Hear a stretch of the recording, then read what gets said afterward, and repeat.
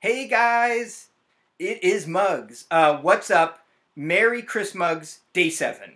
How exciting. Uh, I thought we could actually celebrate this seventh day of Christmuggz a little bit differently. Um, I thought we could celebrate with seven questions answered.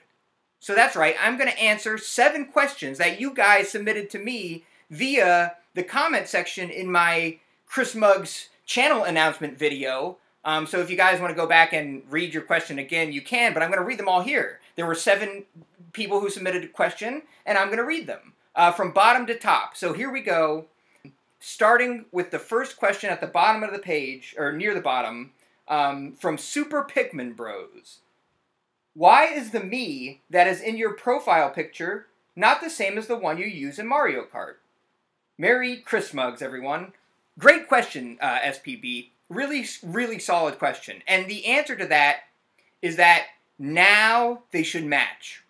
Unless I'm confused, but I'm pretty sure they match now. And and the reason you may have noticed uh, a period of time in which they didn't match, well, that was just because I was doing sort of a rebrand here on my YouTube channel, which you might have noticed. I added a banner. Uh, thank you, Chom, by the way, for helping with all this stuff. That included changing my profile picture and updating my me in the game. So while I was doing that, I uh, I forgot to change the me in the game to the correct me. so for a while I was racing as my old me, which is back when I had more of a beard and longer hair and stuff. And uh, you know, I kind of updated it to shorter hair, even though I have a little bit of scruff now. I, I'll probably shave it soon, so you know, I'm more I'm typically more clean shaven now. So that's what prompted the change in the me, and the answer was I just I forgot for a little bit, uh, but it should match now. Great question. All right, the next question. We've got question number two, this way, from the dude. Hi, Mary Muggz. My question is Do you have a rug to really tie your room together? That is a great question. Uh, very, very dude like. And my answer is I actually used to have a rug that really did tie my room together. And it wasn't stolen or anything like that. What happened is we got a kitten and that kitten, Gibdo, as you know him now, um, uh, unfortunately did some business on that rug, which was a, a, tragedy. So we had to get rid of the rug, and and actually we've never replaced it. We have never gotten a replacement rug. Rugs are complicated. You've got to take care of them and make sure your cat doesn't go to the bathroom on them. I mean, it's just a lot of work. It's see, rugs are a hassle. Let me just say that. You, you know, I I can't be worried about that shit you know, life goes on, man. That's all I have to say. All right, next question. We have question number three. I always miss miss the camera. Question number three from Chom. Also, my question is What made you want to start a YouTube channel? And what's been your favorite part so far? So that's a really good question, Chom. Um, definitely one that I think deserves answering. And so let me let me answer it the best I can here. And I actually have to give a shout out to another channel, Xander, although his YouTube channel name is X and ZR, all, together lowercase. Um, and he posted a while back an MK8 snipe compilation. And that was right when I really started getting into sniping is when I discovered that video and I just loved it. I I rewatched that snipe compilation so many times. I I think I know it better than my own snipe compilations. I think I I could tell you you know which snipe is coming up next. You know, given given the previous snipe. Um, I, I kind of kind of obsessed about that video, and and he's a really good player, and it's MK8, so there's a lot of like fire hopping and demon sliding and stuff, which also just looked really cool and kind of got me more into the technical side of the game and just curious about Mario Kart, and basically I said, I want to do that. I want to make a snipe compilation. I want to make a really long, epic snipe compilation. And that's my first video was 20 minutes of epic MK8 DX snipes. And looking back at it, you know, I, certainly my driving has improved a lot. Um, and, and the snipes, you know, there were some really good ones in there. And, and, and you know, I think it, it was a fun way to begin. It, you know, I, I didn't ever imagine streaming really. I didn't ever imagine that my editing skills would get to the point so quickly that I could be doing, and, and my driving skills as well, that I could be doing MK classroom vids and, and all the other stuff that I do. I never really intended on that. I kind of just thought, hey, I'll make some snipe compilations and maybe do a couple other compilations and you know a couple quick clips, and it'll be just something I put a little bit of time into and don't you know I don't expect much out of it. But then my friend Big Egg sent me some streaming stuff, so I so shout out to Big Egg, and he gave me some help on uh, getting started with OBS. And then I was like, hey, I have this stuff, I have the channel why don't I try, you know, streaming? And so I just did, and it it it's been really fun. It, it's kind of kept me around YouTube and and made me put a lot more time into it and and get a lot more into it in general than I think I otherwise would have if I was just still just making compilations or something. So that is a great question, and Chom double dipped on the questions, but we're counting them as one one question. The second part is what's been your favorite part so far, and the end of my last answer segues into this, which is the streaming.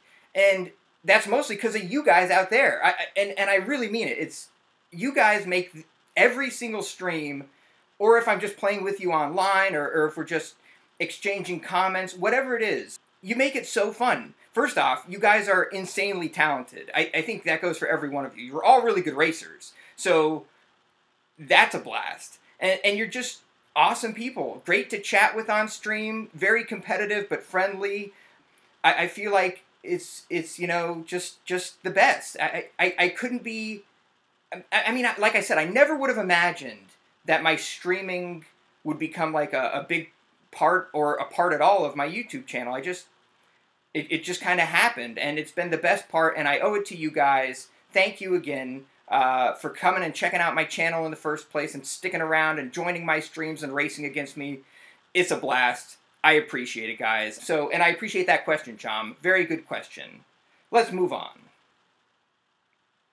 All right, question number four. I think I would learn. Um, uh, Muggz, and this is from G.I. Jose.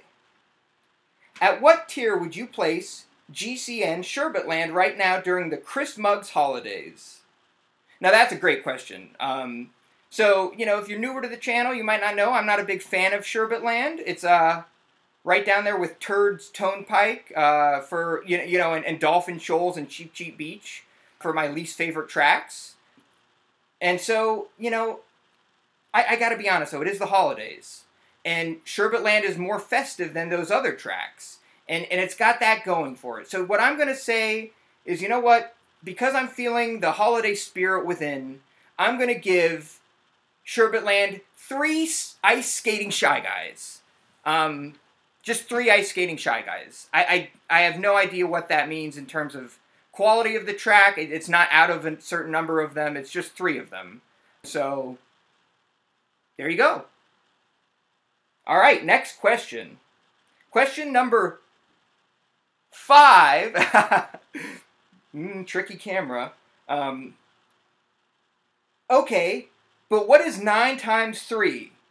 Looking forward to what's in store. Merry Christmas and a Happy New Year soon. From UDUC, who you may have noticed she made an appearance sniping in my last uh, compilation video, including some snipes of me, which was painful, uh, but but you know what? They were well earned.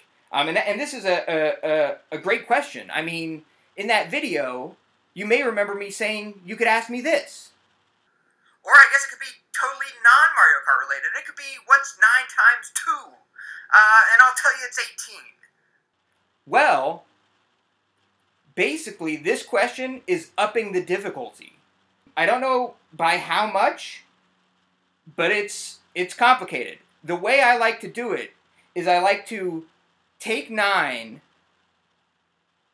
multiply it by 2, which we know is 18, times it by 5, divide it by 3, multiply it by 8, uh, take the integral with respect to x of a different function that uh, explains all of physics in one equation, and then I take the square root of that, uh, multiply it by pi, and it should give you the answer, which is 27. All right, next question. We've got a question from Thumb SP. Happy holidays, Muggz. And my question is, what got you into Mario Kart? And that is also an excellent question. I believe that was question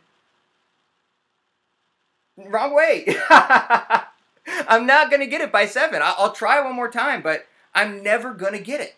Um, uh, but that's question six, and it's a great question, and really gets to the fundamentals of and the foundation of why I have this channel. I mean, because if I never got into Mario Kart, I would probably never have this channel. I mean, maybe I would have some other channel, but it wouldn't be this this kind of channel. So that's a good question. That that really gets to the core of everything, and the answer is simple.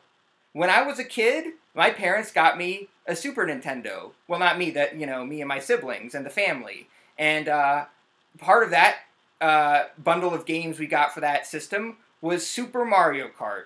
And, you know, I didn't get as into Super Mario Kart as I did into Mario Kart 64, but I enjoyed the heck out of it. I played that game a ton. I wasn't very good at it. I remember me and my brother would try to beat the Special Cup on 150cc, and Donut Plains 3 was just a monster of a way to start. It just always got you. But it was a ton of fun. I, I in battle mode, I'll rem- I'll always remember battling. Uh, and and there was this one beach sort of track where you could jump up into the these little like segmented uh, closed off sections and you needed a feather to jump the walls to get to them.